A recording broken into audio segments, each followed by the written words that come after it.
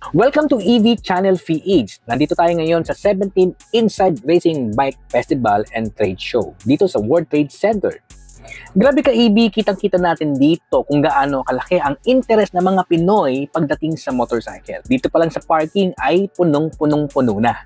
Siyempre, bukod sa affordable kasi ang mga motorcycle, practical din ito kasi panlaban natin ito sa matinding traffic sa Metro Manila.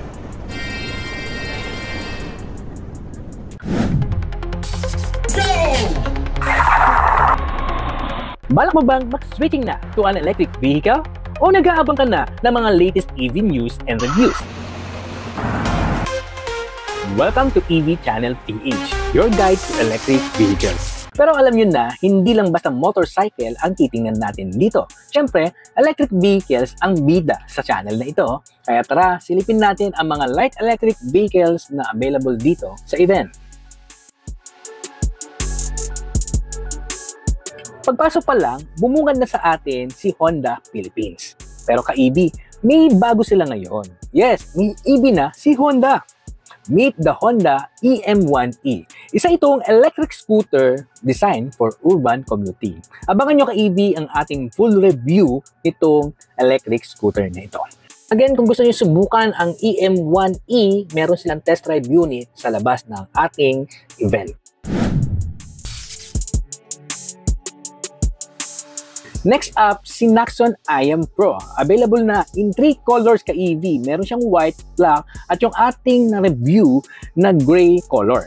Again ka EV, kung gusto mo malaman yung specs and details at mga pictures nito, hanapin mo lamang sa ating video section. Sa mga nagtatanong ka EV kung magkano ang presyo ng Naxon IM Pro is 488,000 pesos. Again, this is a motorcycle from the future.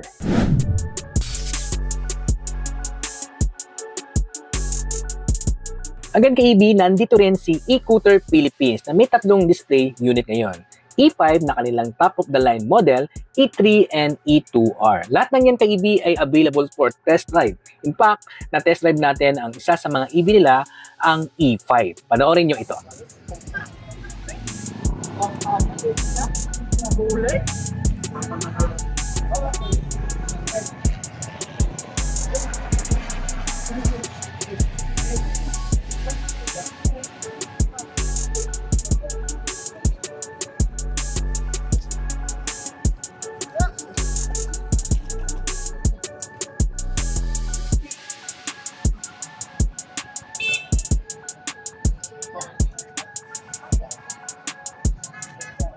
Pwede siya pang banking-banking, no?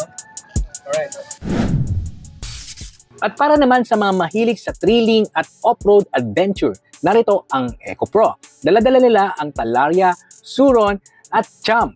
Alright, meron din silang mga test drive unit sa labas at kung gusto nyong maranasan ang power ng mga ito,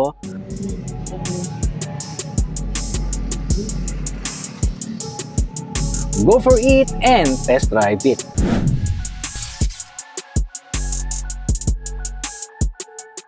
Kung ang hanap mo naman ka EB ay mga pambarangay roads or something customizable or nakakustomize based sa style mo, check out the ESEV. Meron silang mga e-bike units na may pedal na rin, kaya pwedeng pwede sa mga bike lane. At kung gusto mo ng mga tri-wheel style na EV, meron din sila. At syempre, hindi mawawala ang Segway E11L na nakita natin dito sa event Abangan nyo kaibi sa ating channel ang ating full review nitong Segway E11L. Malapit na, next video na to. At eto pa, bago tayo magtapos, nakita rin natin ang BMW CE02 na full electric. Meron tayong first look review nito na nasa video section na. KB, yan na nga. Okay, nakapag-test drive tayo kahit pa paano ng electric scooter, kahit isa yung e-scooter. So, limited lang yung ating time na sa pagpunta natin dito. And again, KB, ayan. Uh, yun yung mga nasilip natin, mga bisita natin mga booth or display unit ng mga brand ng EcoPro, ng Naxon, ayan, yung ESEB, and e-scooter. Actually, nakita rin natin dito yung BMW at yung, yung Segway. Meron silang maliit lang na booth ng Segway dito. At yun nga yung dala-dala natin ngayon dito eh. So anyway, KEB, if you like to know more about electric vehicle and gusto mo na mga content about EV, mga light EV, e-bikes, KEB, uh, please do it to subscribe our channel, Electric Vehicle Channel PH. And of course, mapakilike na rin din ang ating video at mag-comment na rin din uh, suggestion or mga gusto yung pa-review ng mga EV, mga light electric vehicle na tulad nitong ating nakita dito sa loob. Alright? I'm Mark from Electric Vehicle Channel PH. Let's go!